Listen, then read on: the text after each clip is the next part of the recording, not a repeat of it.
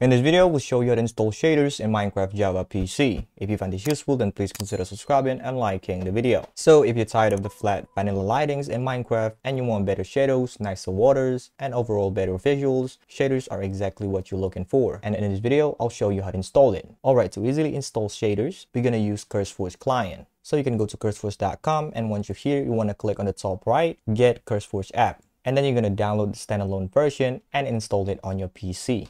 Before we continue, a big thanks to Apex Hosting for sponsoring this video. If you're in need of a Minecraft server, go check them out. The link is in the description and pinned in the comments. Apex Hosting offers super fast performance with their high-speed servers, so your gameplay will be smooth and lag-free. Plus, they've got amazing customer support available 24-7 to help you out whenever you need it. Their setup process is incredibly easy, so you can start playing with your friends in minutes. If you use their service, you're supporting the channel. So thank you so much. All right, after Curse CurseForge is installed on your PC, you want to open it up. And once you're here, you want to go to the Minecraft section. And as you can see here, I have mod packs installed. Now to create a new mod pack, you can click create and then you want to give your mod pack a name. I'll just name it shaders mod pack. And then you're going to select your Minecraft version. Now, one thing to note here is that the shader loader that we're going to install on the next step will not always available for the latest Minecraft version. And the same thing goes for the shaders itself. But don't worry, you can change it later. So here, just in case, I'll select Minecraft 121.11 and next you're going to select your mod loader. Here there is a lot of options you can choose, but most people are using Forge or Fabric. So in this video, I'll show you how to install it with Forge and also with Fabric. So for the first one, let's select Forge and then let's hit create. Actually, let's change the name to Forge and then you're going to click create. You'll start installing the mod pack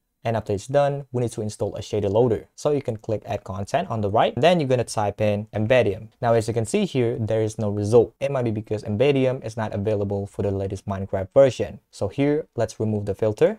So it's going to be this one. As you can see, there's no button to install. So you can click on it to go to its page. And then once you're here, you want to go to the versions tab and let's see the latest version that's available for Forge. So it's going to be this one. So here I have to downgrade my mod pack to Minecraft 120.1. To do that, we can go back to the modpack page and you want to click the three dots next to the play button and then just click on clone as.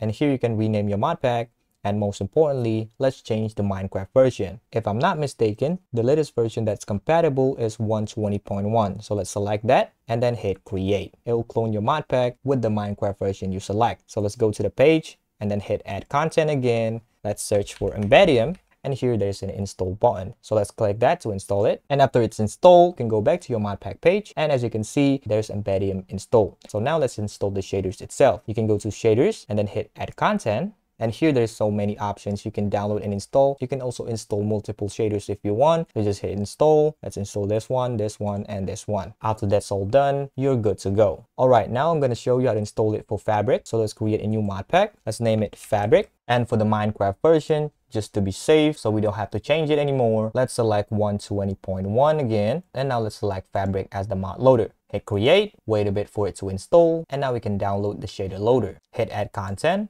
and then you're going to type in iris so it's going to be this one and it's also available for my minecraft version. Let's hit install and that's done. If you're using fabric you can also install a mod called sodium. You can type in sodium. This mod can increase your fps so it's a good thing to install it. Just hit install. You can also install sodium dynamic lights. Just hit install. And if you want to install another mod you can just hit install now let's go back under the mod section. There's Iris shaders, sodium, sodium lights, and sodium options API. It's a good thing to install all of them. So now let's install the shaders itself. Go to the shaders section, hit add content, and then just hit install on the right side. Alright, after you install everything, including the shader loader and also the shaders itself, you can hit play on the top right to launch Minecraft. Alright, when I launch it, there is an error and it says that I have to install Reese's sodium options. So let's do that. So it's to be this one. Hit install. After it's done, let's launch Minecraft again. All right, I'm inside the game. And now let's apply the shaders. So open up the pause menu and then go to options and then video settings. And because we install sodium, the UI is to be a bit different. Now here to load the shader, you can click shader packs at the top and then you're to make sure shaders is enabled. And to select the shader, you can just click on it and hit apply. Wait for it a bit to load and after it loads, you can go back and as you can see, my Minecraft looks beautiful now. That means the shader is applied. Now you can open up the pause menu again and then go to options, video settings again, and then shader packs, you can click on shader pack settings. Here you can change your settings. You can customize it however you like. So for example, profile here, I can change it to potato if my PC is not strong enough, or I can even change it to ultra if I want to work my PC a bit. There's more settings you can customize, so go ahead and do that if you want. After you're done, you can hit apply.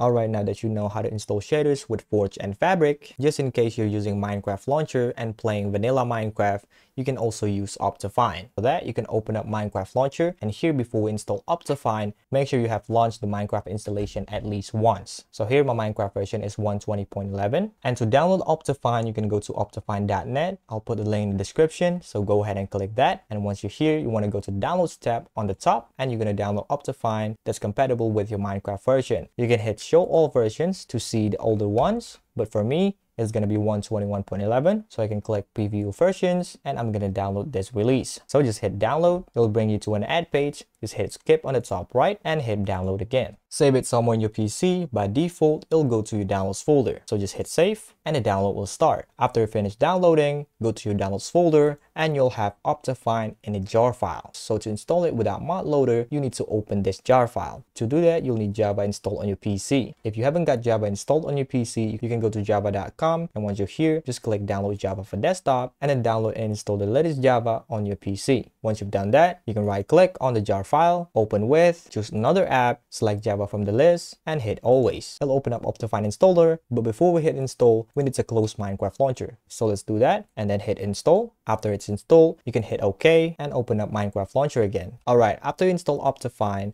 on the bottom left, make sure you select Optifine profile. If that's good, you want to go to the installations tab on the top, look for your Optifine installation and click the folder icon on the right. It'll open up your Minecraft installations and what you want to look for here is the shader packs folder. If you don't have it, you can just create a new folder and name it shader packs. So let's open it up and this is the folder where you install your shaders. And now let's download the shaders. You can go back to curseforge.com and once you're here, you want to go to the Minecraft section, go to browse all, and on the left, click on shaders. Here you'll have a lot of options you can download and install. So for example, here I want to download complementary shaders. I can click on it to go to the page and then let's go to the files tab and here you're going to download the release that's compatible with your Minecraft version. You can look at the game version here. So for the latest release, it's available for Minecraft 120.11. Click the three dots on the right and then hit download file. Save it somewhere on your PC, hit save, and it'll start downloading. Now I have the shader pack in a zip file. To install it, as I said before, you just need to put your shader pack into the shader packs folder. So just drag and drop it and that's done. Now let's go back to Minecraft launcher and once again, make sure you select Optifine profile. Once you're inside the game, open up the pause menu and go to options. And if you install Optifine correctly, you'll have a new tab called shaders. So let's open it. You can click on the shader pack to select it. It will load for a bit and it will apply the shader. Now on the right side here,